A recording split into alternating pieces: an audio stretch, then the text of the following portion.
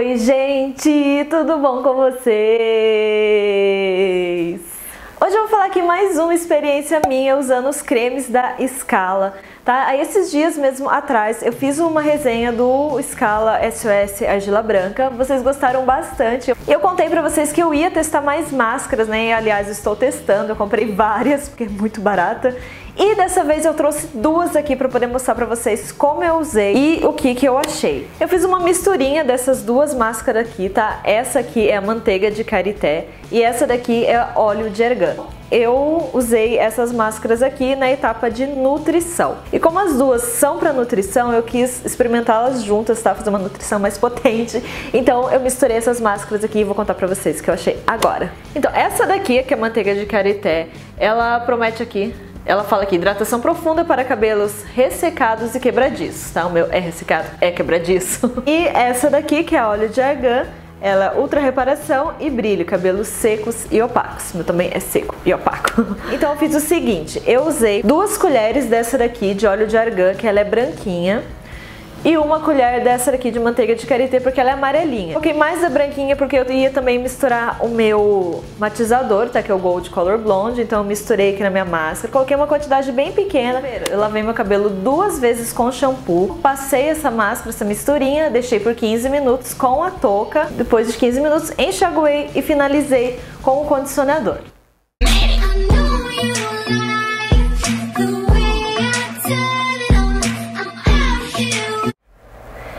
Máscaras aqui, gente, assim como as outras que eu já mostrei aqui, ó, elas são mais ralinhas, né, ó. E cheiro.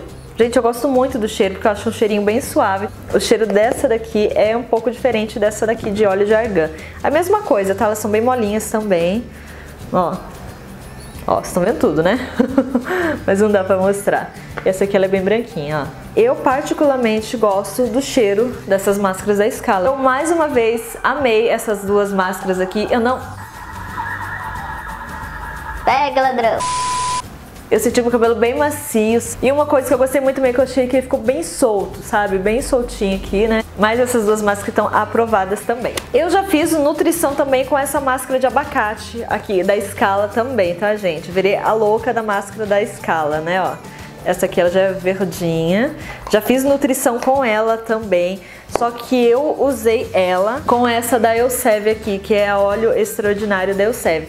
Gente, amei essa combinação tá? Não usei ela pura nem com outra máscara da Scala, então não sei dizer pra vocês é, exatamente o que eu achei, mas pra fazer nutrição eu usei essas duas juntas gente, foi maravilhoso. Eu amei o resultado também. Pessoal, em breve eu vou trazer mais resenha de máscaras dessas máscaras da Scala, que são muito baratinhas. Ah, eu quero deixar bem claro aqui que eu não estou sendo paga pra falar dessas máscaras, tá, gente? Eu mesma comprei, eu mesma testei, Claro que eu mesmo testei. Oh.